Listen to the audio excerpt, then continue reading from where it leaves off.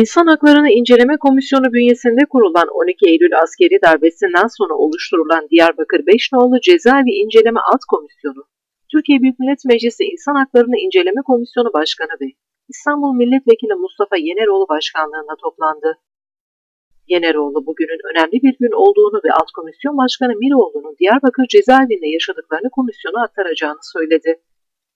Orhan Miroğlu kendisinde bir dönem kaldığı Diyarbakır cezaevinde yaşadıklarını hüzünlü ve tarihi bir an olarak nitelendirdi. Ee, benim için hakikaten e, e, çok hüzünlü bir an e, ve çok tarihi de bir an. E, ben e, geçen yasama döneminde e, İnsan Hakları Komisyon üyeliğine e, uygun, layık bulunduğumda e, aklımdaki yegane fikir bir zamanlar e, mağduru olduğum Diyarbakır cezaevi ile ilgili bir araştırma komisyonun kurulmasıydı. E, Allah nasip etti. Böyle bir komisyon kuruldu. Değerli arkadaşlarımın katkılarıyla e, çok kıymetli bir çalışma yürüttük.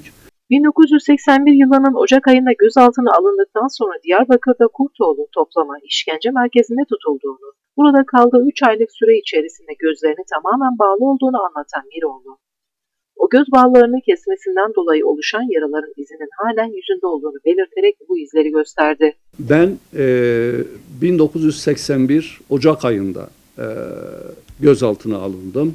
E, Diyarbakır'da Kurdoğlu'yla maruf bir e, toplama merkezi, e, bir işkence merkezinde tutuldum. E, ve bu e, süre içerisinde yani 3 aylık süre içerisinde e, gözlerimiz tamamen bağlıydı. E, biz e, kimin bize ne kötülük yaptığını hiçbir şekilde göremezdik. Çünkü gözlerimiz bağlıydı. E, şurada bir işaret var. Hala o göz bağının işaretidir bu. Çünkü bu göz bağı bildiğiniz askeriyenin kullandığı bir çeşit kalın kumaştan yapılmıştı. Ve o kalın kumaştan yapılan bu göz bağları siz işkence merkezinden çıkıncaya kadar sizin gözlerinizde bağlı olurdu. Miroğlu Diyarbakır cezaevine ilk girdiğinde çok uzun bir koridora alındıklarını ve gözlerindeki bantların çıkarıldığını söyledi ve o günleri şöyle anlattı.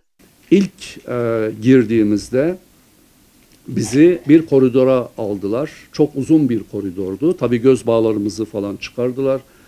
O bölüm daha sonra öğrendik ki e, hücrelerin olduğu bölüm. Yani 35 ve 36 ismiyle iki tane hücre bölümü vardı. Her hücrede 10 e, her katta 10 hücre vardı ve 4 kattan oluşuyordu. Birinci e, katın birinci hücresi tamamen lağımla doldurulmuştu ve e, o gün istisnasız gelen herkes o lağımın içerisine sokuldu. Ona da banyo diyorlar. Orhan Miroğlu hastaneye götürüldükten sonra bazı mahkumların ölüm haberini aldıklarını belirterek Diyarbakır cezaevinde veremin çok yaygın bir hastalık olduğunu ve ölüm aşamasına gelinceye kadar tedavi edilmediğini vurguladı. Ee, yanı başımızda arkadaşlarımızın e, bir gün alınıp hastaneye götürüldükten sonra ömür e, ölüm haberlerini aldığımız e, zamanlar oldu. Ramazan Ülek mesela Urfalı ve çok e, çocuk yaşta e, bir tutukluydu. E, vereme yakalanmıştı. Bu arada parantez açıp şunu söylemek isterim. Verem Diyarbakır cezaevinde çok yaygın bir hastalıktı.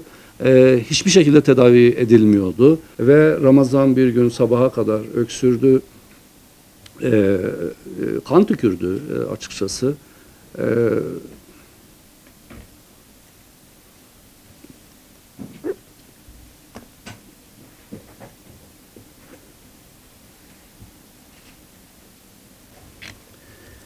15-16 yaşlarındaydı. E, hastaneye kaldırdılar ve bir gün sonra da e, gardiyan